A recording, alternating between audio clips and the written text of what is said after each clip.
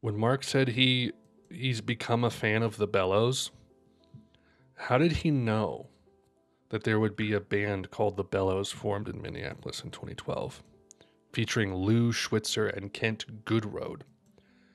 And the one EP that they came out with was seven tracks. Anyone know? I'm just curious. This compilation is half good or half great, half not good. Um, it's actually uh, almost exactly half and half for me. Um, some amazing tracks here for sure, and then some honestly duds. Some of the worst Chameleons tracks I've ever heard personally.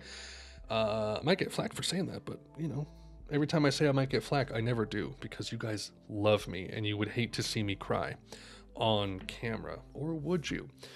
The fan and the bellows, three out of five. As you can see, I'm all over the place on um, this thing. uh, so the fan and the bellows, fun, energetic, post-punky opener with a solid riff, then breaks away into a more poppy new wave section that's very nice. Um, good stuff. Nostalgia, man. Oof, this track has grown on me like a crazy amount. It's probably like a top five Chameleons track for me. I've said that probably about like 10 Chameleons tracks so far. Uh, and I love that guitar playing in the riff, uh, anthemic chorus as well. It's just fantastic. It's good. In Shreds, really solid track. Uh, I said it before. Uh, I like it more with each listen. I love the blistering guitar riff with urgency. It's just top shelf post punk. Um, Prisoners of the Sun. I've said it before. Always a fan of this kind of stuff. Not as good as some other more like wistful, atmospheric, nostalgic tracks, but it's solid. Nostalgia 7 inch version, not really sure why they included like two very similar versions of the same song, but my opinions are basically the same. Turn to the Vices. Um, here's where thing like things turned a bit south for me. Those repetitive riffs I've mentioned before are back, and it's just too stale for me. Like a total flatline for me, this track.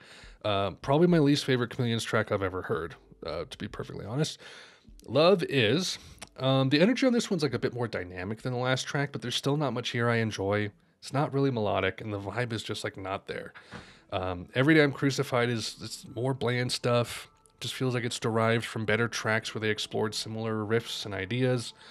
Endlessly Falling. That bass riff is a little monotonous, but the chorus is at least, I think, kind of interesting.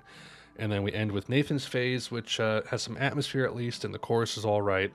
Um, I think I mentioned it kind of sounded like a script of the bridge esque era track, which it may have been. I don't know.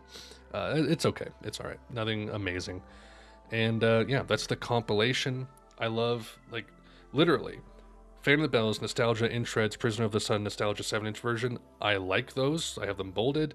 The rest I don't. It's like. I, I, I could take the first five tracks and leave the last six is kind of how I see it. Um, I don't know. Maybe you guys disagree. You probably do. Uh, if you do, please let me know why uh, Turn to the Vices is the best Chameleon song. Because if you say that, I'm going to unsubscribe from you. I'm going to remove you from my channel. I'm going to unsubscribe you.